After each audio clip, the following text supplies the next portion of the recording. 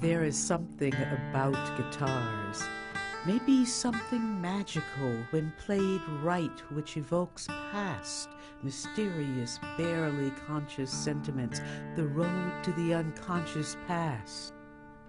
Guitar is a caller. It brings forth emotions you didn't know you had.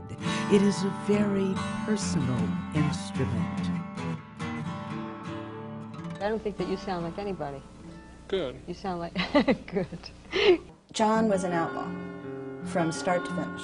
I think he was always making up the myth of John Fahey. He comes up as like one of the most influential guitar players of all time who didn't give a shit about his guitar.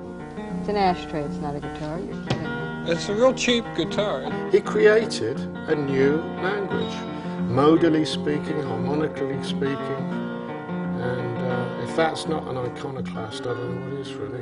We would get requests from the Rolling Stones or uh, really incredibly well-known uh, and successful musicians asking for copies of his records uh, because they respected him. And yet when you start listening to where he goes melodically and harmonically, you can tell that he's not about playing it safe.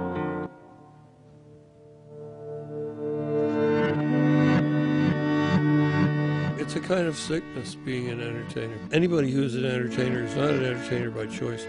He's an entertainer because he has to be. He did think his work channeled often the very darkest emotions that he could sort of dredge up.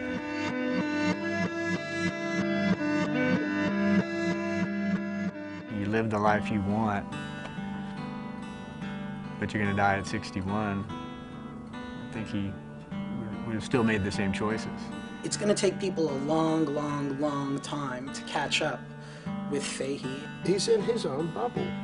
It feels as though he's not quite going to let it go. You know. Somebody might come along to pick up what he's done, but I don't know.